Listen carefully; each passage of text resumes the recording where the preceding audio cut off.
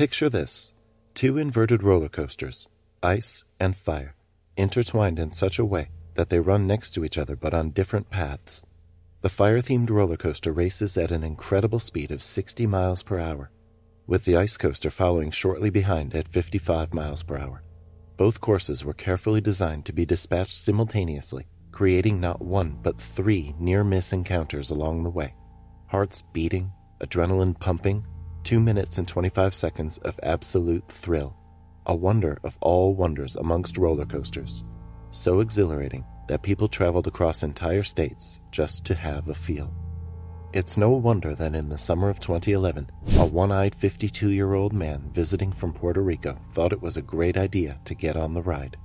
Unfortunately, that single decision had catastrophic consequences, causing him to lose his only seeing eye and become completely blind. This is the unfortunate tale of Carlos Montalvo and other victims who fell prey to a disaster that was only waiting to happen, which shut down the once popular Dueling Dragons coaster for good. First opened to the public on June 7, 1990, the NBC Universal operated theme park featured many themed rides, attractions, and live shows. Its goal was to compete with the already thriving Disney World theme park, and by its opening, it focused on providing guests with a behind the scenes look at their favorite movies and shows. It was even used as a filming location, but was soon stopped because many producers and directors didn't want to shoot in Orlando. Following this development, the park evolved into a modern first person perspective theme park as it focused heavily on themed rides, areas, and attractions. The park was an instant hit. Although it wasn't as successful as Disney World, it managed to garner about 10 million visitors annually the featured theme rides were so successful that in 1997, when the park announced the construction of a new ride called Dueling Dragons, people were genuinely excited. The riders could choose between two dragons a reddish orange Chinese fireball dragon and a blue Hungarian horntail dragon. Upon choosing their preferred dragon, the riders were then sent off at the same time on the two separate trains. Once inside the trains, guests prepared for their duel. As they reached the top of the lift hill, the two trains ran in opposite directions with five turns on each side.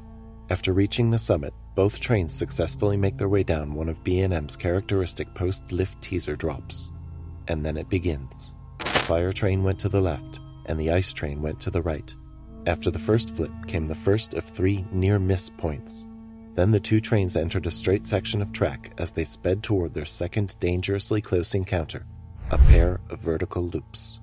Once again, the legs of people on the opposite trains came within inches of each other 18 inches to be exact, so close that they could have almost touched. After completing the vertical loop, both trains did a 180 degree turn to set up for the climactic showdown, the final near miss, a pair of two interlocking flat spins. Once done, both trains made their way back to the station. The action packed ride was so intense that there was no break from when the trains departed the lift hill until its conclusion. It ran its course of two minutes, undisturbed. At the time, the Dueling Dragons were unlike anything that had ever existed and quickly caught the hearts of many thrill seekers. Due to its competitive nature and unique design, many people flocked to try it out, as the idea of racing roller coasters was new and truly interesting. Although the ride was amazing to think about, it was a recipe for disaster, but not in the way anyone would have imagined at the time. The ride's first recorded accident occurred on July 1, 2009, about 19 years after its initial opening. It occurred in the early hours of the day when Universal Studios technician Douglas Babcock was going through his usual morning inspection of the rides. At the time, Douglas was conducting a foundation inspection of the Dueling Dragon right under one of the dragon's paths, when a ride operator, who allegedly had no idea Douglas was underneath the ride, accidentally sent one of the empty rides on one of its usual morning test runs. Sadly, like most inverted ride accidents, the dragon crashed straight into him as the suspended front car struck him in the head. Luckily, he survived the incident and was rushed to the hospital, where he spent about a week recovering. He would later miraculously make a full recovery and walk away from the ordeal alive. The next accident victim, however, was not like Douglas, and he was so unlucky that he was left permanently blind. In the summer of 2010, the ride went through a minor refurbishment Following this, the ride was renamed the Dragon Challenge and was made part of the wizarding world of Harry Potter. The ride itself did not undergo significant change and was most likely just rebranded rather than renovated. The new branding, however, worked, as many people flocked for a taste of their favorite wizarding franchise.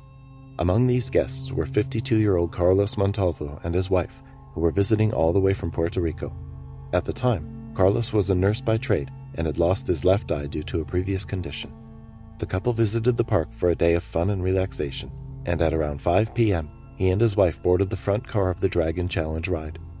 The ride typically lasted about 2 minutes and 25 seconds, allowing riders to marvel at the intricate turns and near misses in what felt like a true dragon experience.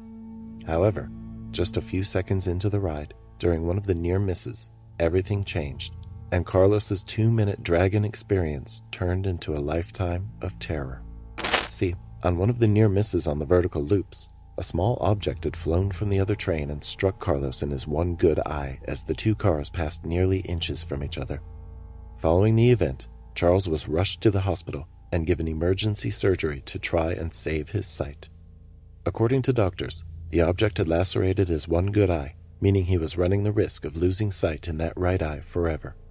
His sister even told the news reporters at the time that the doctors would have to watch him for three weeks to monitor the progress of the eye. Sadly, however, the eye never healed and had to be removed to save Carlos's life. This accident came as a shock to many, as no one at the time saw it coming. And even though the park, like many other parks, had a rule that required all riders to leave phones and loose objects outside the ride and not in their pockets, many riders did not see this coming. However, that was not all, as tragedy quickly struck again just two weeks after Carlos lost his eye. This time, a 19 year old boy from Ohio named John Wilson was the victim. According to reports, on August 10, 2011, John was struck in the face hands, and legs by an unknown object while riding the ride. Even though he only sustained minor injuries, the accident happened at a bad time for the park and was bad enough that it drew a lot of media attention.